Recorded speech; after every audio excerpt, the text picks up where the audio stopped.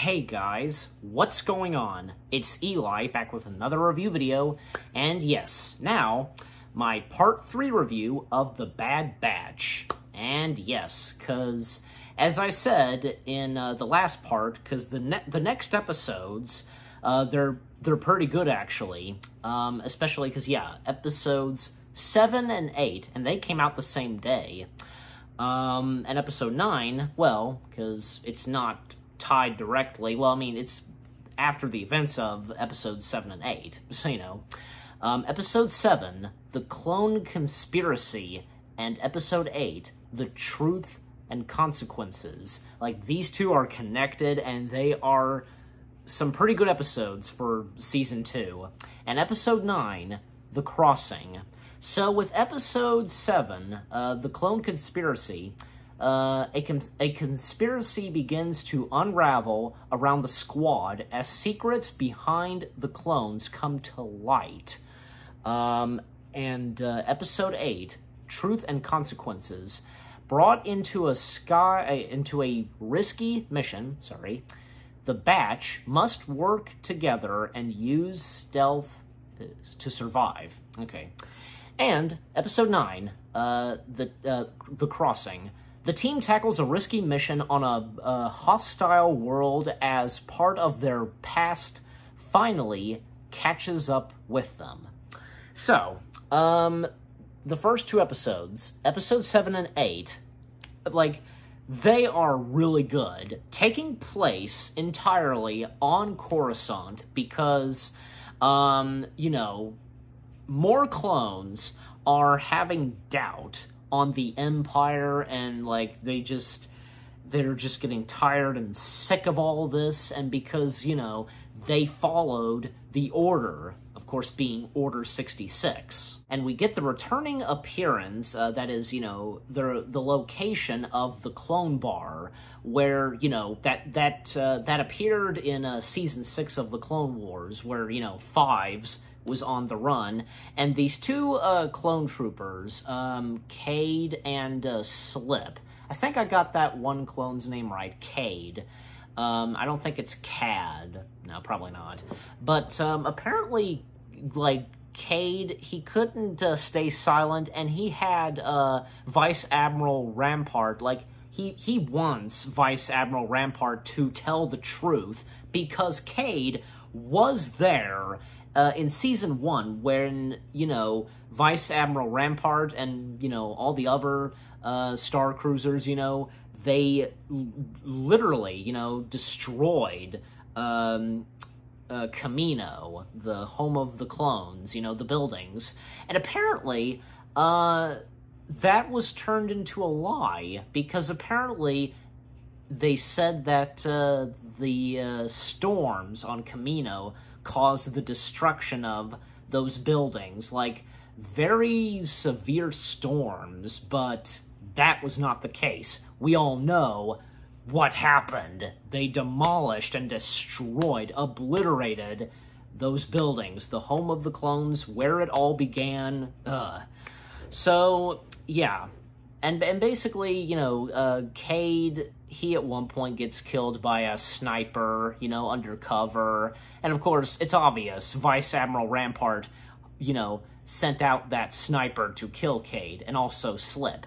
But Slip does survive, and we get the returning appearance of Senator uh, Chuchi, uh, like that the like blue-faced alien species with a bit of like yellow dots or whatever um, that did appear a lot in the Clone Wars a couple of times. Even like say she, uh, I think yeah, she one time uh, teamed up with Ahsoka in season three, um, and um, even say you know making an appearance in uh, the prequel trilogy, and um, you know having a silent appearance and actually uh, Senator Senator Chuchi was played by George Lucas's daughter, and which you know in Revenge of the Sith, George Lucas does make an appearance, you know, as um, the senator's father, and which you know the senator father would appear in uh, the Clone Wars, voiced by Corey Burton. I think he gave him like an Orson Welles voice, I want to say. I- am pretty sure.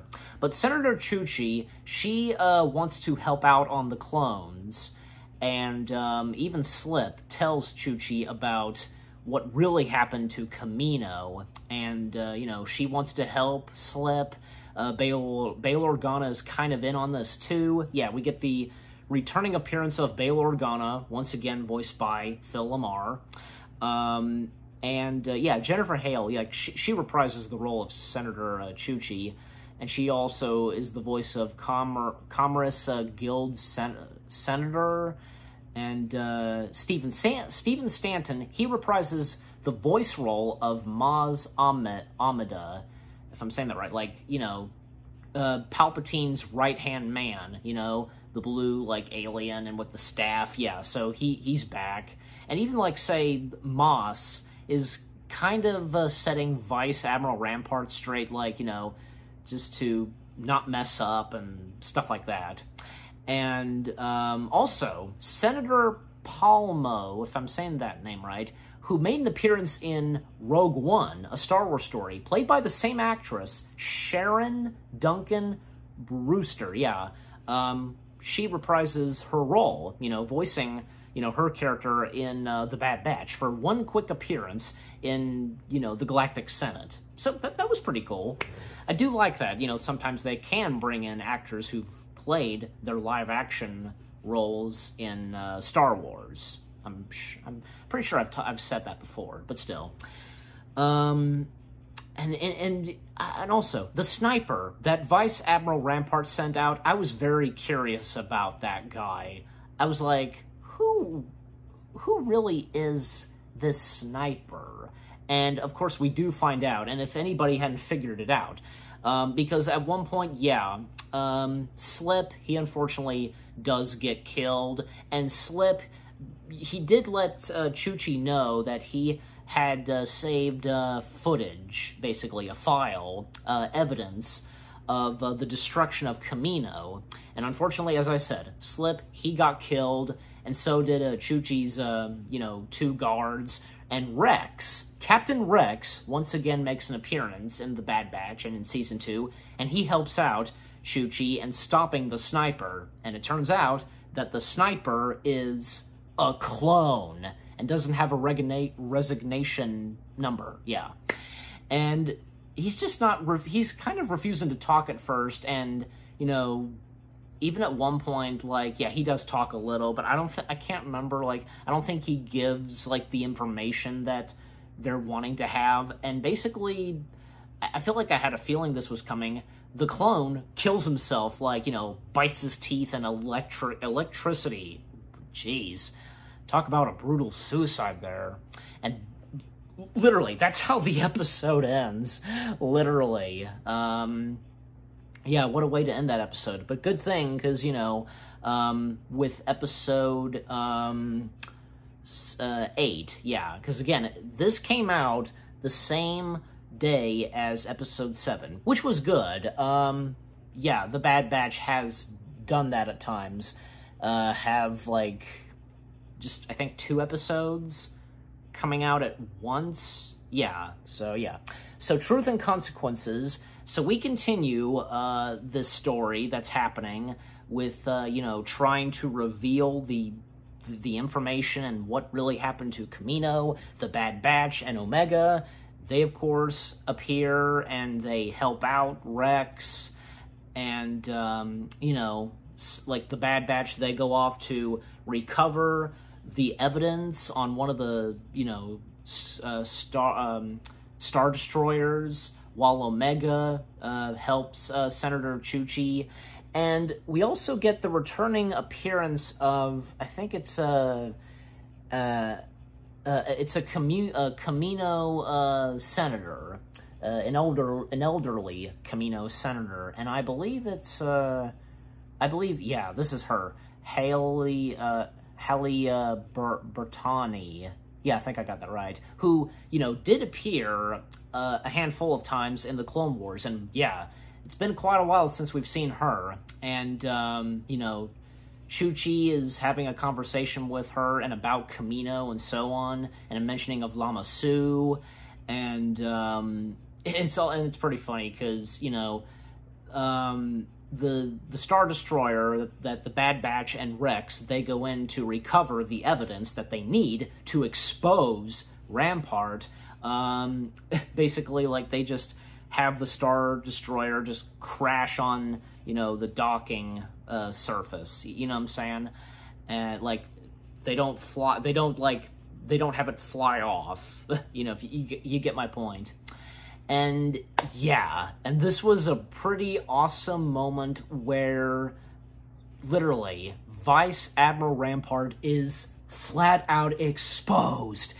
The entire the Galactic Senate, they see the evidence. They see the holographic footage of Kamino being demolished and destroyed by Rampart's doing and right after that footage is shown, well, of course, a big stir happens. Everybody is talking, you know?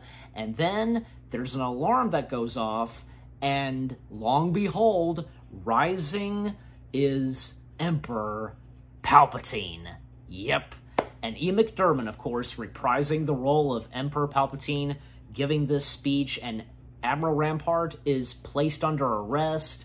And basically, Palpatine, you know, and knowing Palpatine, he twists this whole thing because, you know, giving the uh, proposed order of stormtroopers. The birth of stormtroopers happens.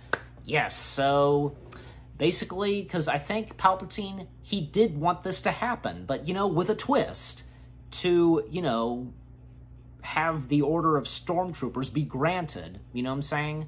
And of course, yeah, even the Bad Batch and Rex, they realized that, and, you know, the fate of the clones are sealed because of them. And, you know, Chuchi, she'll still do whatever it takes to help the clones. Uh, so will Rex, and even um, Echo. Echo uh, stays behind for now. You know, he's, you know, because he, uh, for now, is helping Rex and Chuchi. Um, and it's kind of emotional for Omega because, you know, it, to her it kind of feels like it's goodbye, you know, but it really isn't. Like, you know, he's not, you know, leaving the Bad Batch. You know, he's just gonna be stepping down for a while and helping out Rex and Chuchi. So, you know.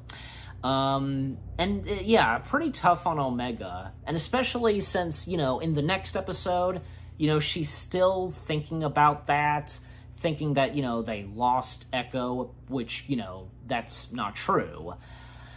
So yeah, um, episodes 7 and 8 were really good, definitely. And finally, we have episode 9, The Crossing. Now, in this one, because, yeah, this is the aftermath of what happened in the last two episodes, and when Echo left the Bad Batch, again, for now, and Omega still thinking about that, thinking that, you know, they lost Echo and so on, and the Bad Batch because, you know, um, they're on a hostile world, and as I read the description, and um, a lot of things happen in this episode. First off, like, they get into a stampede of, you know, these creatures. I don't know what they're supposed to be. Um, did they ever... Did, did they name those creatures? Like, did the Bad Batch say what they were? I can't remember. Even, like, say, Wrecker kind of getting caught in the stampede.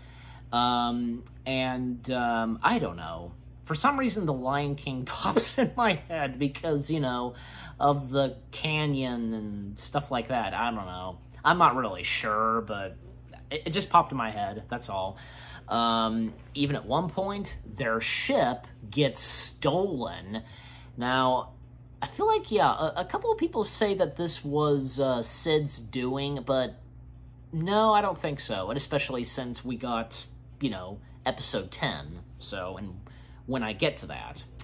Um, and they're also, like, they're trying to find, like, you know, something from the mines, I want to say, and even say Omega at one point, because she wants some alone time after, you know, kind of having a meltdown about Echo um, she does find, um, you know, gold, you know, some, you know, gold and silver, and um, Tech even uh, helping out Omega uh, retrieve the, you know, the gold, and even at one point, like Omega slips and falls way down. Uh, into water. And you know tech you know going after her to, to help her and save her. And they even like say go through you know um, uh, rapids and go, you know, going down a waterfall. And Omega, you know, really feels like Tech doesn't seem to care on what has happened. That, you know, first off, you know, Crosshair and now Echo, you know, it just she feel she feels like Echo doesn't really seem to care or, you know, understand, I guess, and have emotions. But, you know, I he does explain he does he does reassure Omega. And another, another another thing is I've heard from some people that this episode felt like it was bringing more character development. And yeah, I, I, think yeah, I think I agree on that too, because we get a lot more uh, of these characters, like you know, such as um, Omega and Tech, and you know, moments between those two characters you know, just so much going on and a lot of talk, you know. Um, and um, yeah, of course, you know, things start to look pretty good for Omega and Tech, and that, you know, they are family. Like, Omega is part of this family, the Bad Batch. And of course, they do find their way out of the mining tunnels. And even say they tried to they they did. They contacted Cid at one point. And yeah Cid being kind of like too not going not easy on the bad batch you know? Like she, she does like tell them that she will help help out just a little bit you know? Even like say when hunter was telling her that you know they're out of rashes but she like she just cuts off like when Hunter's explaining that they're out of food, you know, like, geez, Cid. um, and of course, you know, right before the episode ends, like, you know, they of course continue on to find their ship. And yeah, with episode 10, like, they do retrieve their ship, but there's a lot more in episode 10. And again, until I get to reviewing episode 10 in, you know, my part 4 review. So, uh, yeah, uh, episodes 7, 8, and 9 were some pretty good episodes, especially uh, the first two, you know, taking place on Coruscant, exposing Rampart, you know, the the true reveal of what happened to Kamino. They they were really good.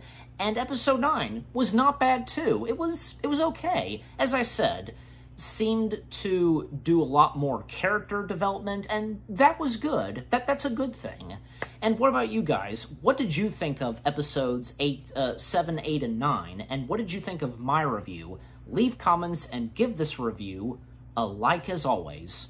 So, with that being said, this has been my part 3 review of Season 2 of The Bad Batch. Thank you for watching. I hope you enjoyed. More reviews on the way. They're going to be awesome. Keep looking forward, and I'll see you guys in the next video slash review. Take care, and until my part 4 review, peace out, and may the Force be with you.